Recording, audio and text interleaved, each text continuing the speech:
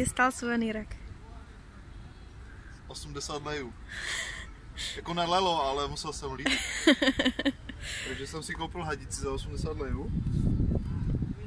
A výkon.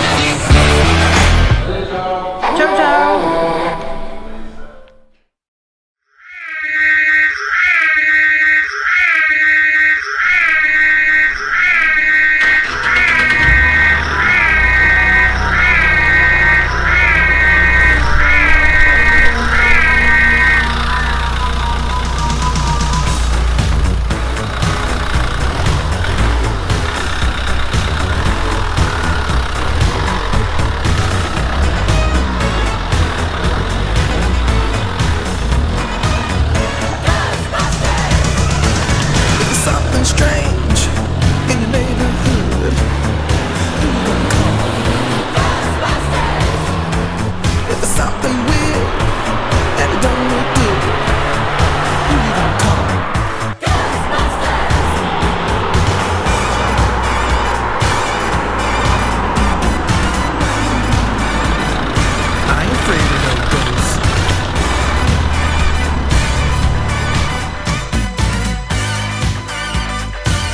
afraid of no ghosts.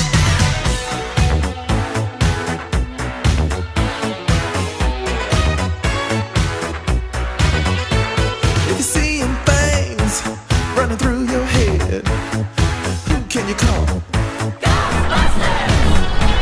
An invisible man sleeping in your bed. Oh, who you gonna call?